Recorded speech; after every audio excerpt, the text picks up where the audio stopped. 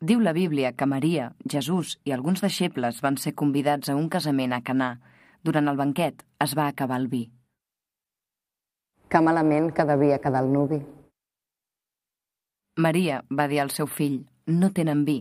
Llavors, Jesús va demanar als criats que omplissin d'aigua sis gerres ben grosses i les portessin al mestre Sala, que era el criat principal. El mestre Sala, que no en sabia res, va tastar l'aigua, però s'havia convertit en vi. Entusiasmat va cridar al nuvi per felicitar-lo. Tothom servia el millor vi al principi, però en aquest banquet l'havien reservat pel final.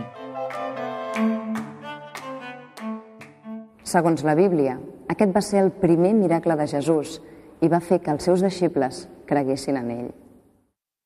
Aquest moment tan transcendent no desperta l'atenció dels altres convidats. A més a més, a primera vista no sembla que el quadre d'Il Veronese, Les noces de Canà, representi una escena bíblica.